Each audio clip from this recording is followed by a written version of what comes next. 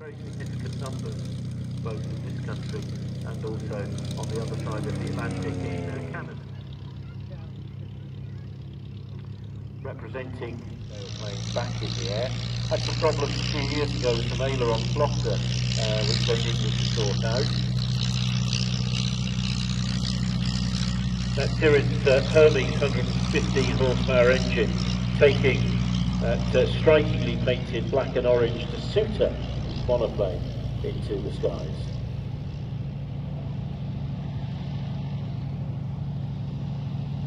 Imperial Airways operated one as well, although that had a different engine, a different brake mechanism and tail mechanism as well.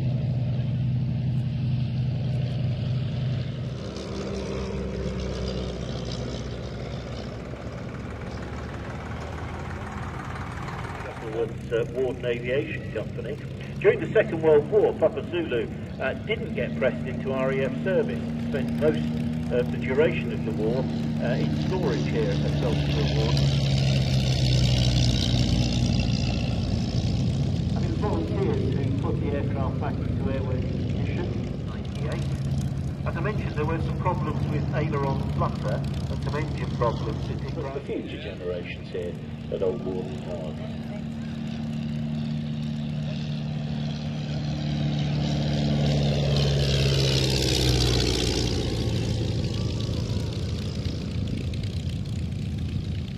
That particular era. And when you think that she was put to use as a, an air taxi aircraft, uh, passengers uh, well and truly putting their, their trust and faith in the skill of the pilot, who of course in the pre-war years wouldn't have had access to uh, the radio navigation. Difficult to turn in the taxi, and it requires somebody with a, a bit of heave-ho to uh, lean on the fuselage to uh, pull it left or right to get the computer to turn on the ground.